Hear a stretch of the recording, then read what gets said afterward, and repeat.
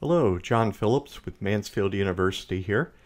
And in this video, I would like to walk you through how to set up a Ubuntu server on the Amazon AWS cloud.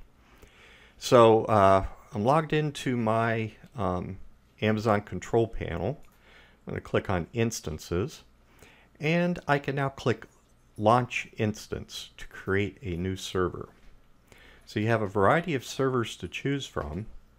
Uh, and if you don't see what you want here, you can go to the AWS Marketplace or Community AMIs and search for uh, the specific server you're looking for.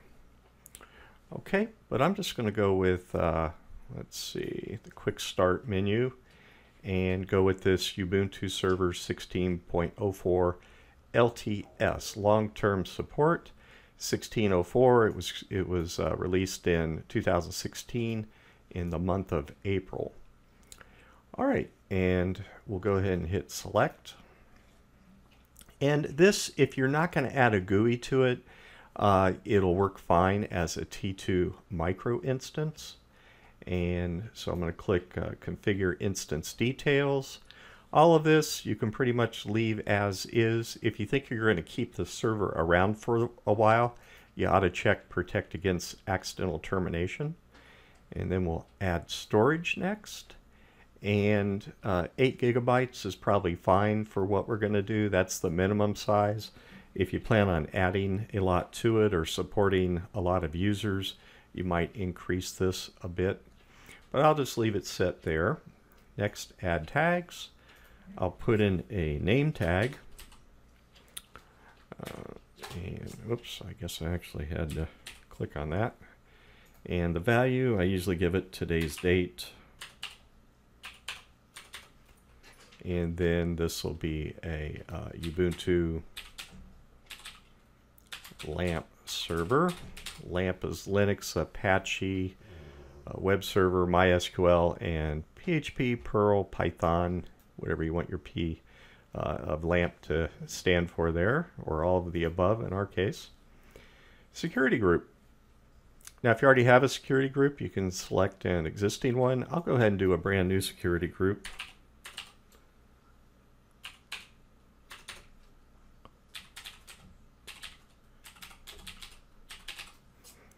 All right, and I will put this in both places here.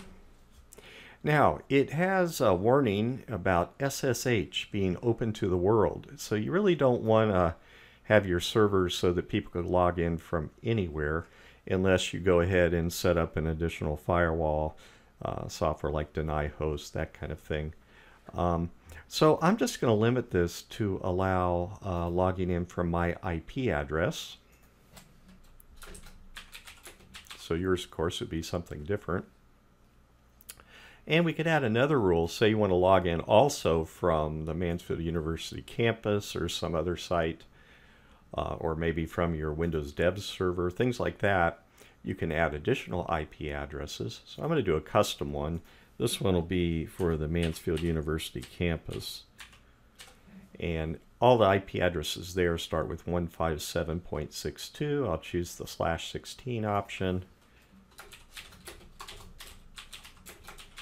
And so with this, you would be able to log in from anywhere on the MU campus. Now, if your home uh, router modem reboots, your IP often changes, and so you would need to come back here and uh, to your control panel and edit the security setting to change to your latest IP address. All right, um, let's see, is there anything else? So it's just giving me a, a look at uh, what I have so far. I'll go ahead and hit launch. And now it wants me to, to either choose an existing key, since I have several, or create a new key. And I'm going to assume that maybe you don't have a key yet. So I'll create a new key pair. And you need this in order to log in at least the first time into your new server. So we'll do create a new key pair. I'll name it the date. And I'll say Ubuntu key. Now you have to download this and pay attention to where you put it. and I'm going to put it, um, I have an AWS folder in Dropbox. I will put it right there. Okay, and then now after you have that safely put somewhere where you can find it, do launch instances. And then view instances. Okay, so this is going to take a couple minutes to start up.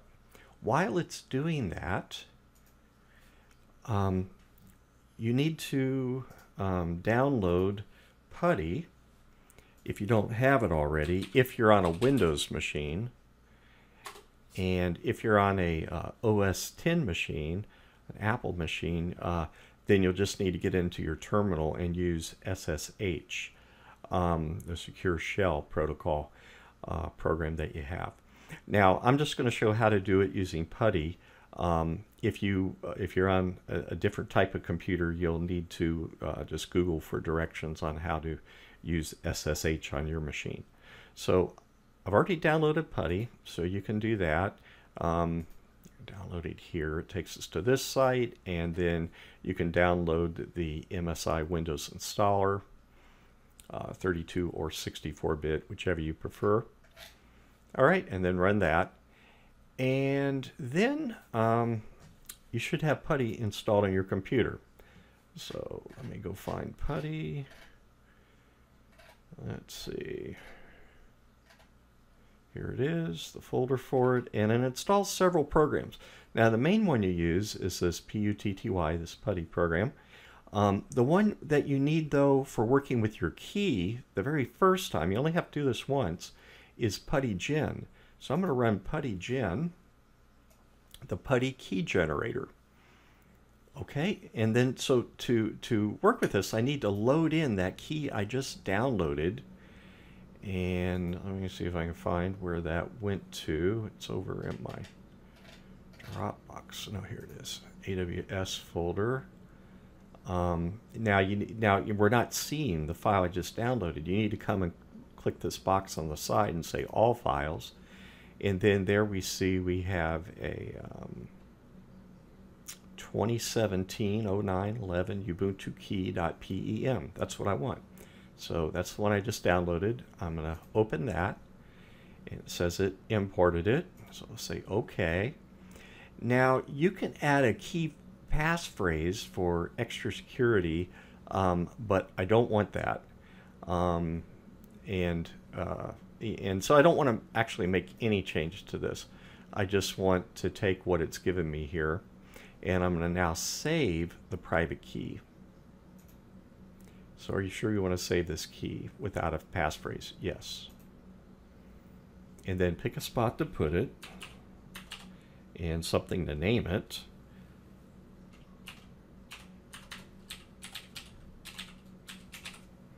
Okay, and then save. All right, and then you can close this. And so now, um, hopefully we have that saved in a form we can use it. All right, now I want to log into my server. You do that using the PuTTY program, so you can go back to your menu, find PuTTY. I already have it here as a shortcut. And um, we'll need to set several different settings here. So let me just run through them real quick. I usually like to have a lot of scroll back, so I'm going to add a couple zeros there. Uh, for appearance, I'm going to make the font bigger so you can see what I'm doing. Maybe I'll make it 18. Uh, usually I also change the font to Consolas, but just whatever you like. You can change that if you want. Uh, colors, if you want a white background, under colors, use system colors, check that box. If you prefer a black background, leave it unchecked. Connection, I usually set the uh, seconds between keep alive to 60 and then under SSH, click the little plus and click auth. And here is where you put your private key file we just created. So browse for that, and then hopefully you can find it. Now notice it ends in .ppk now. That's the one we want. Um, and it should say on the side PuTTY private key file. Okay, so I'll open that up. And then go back up to the very top of session, and you want to save this. So I'll give it the date again. Um, uh, okay, and I'll save that.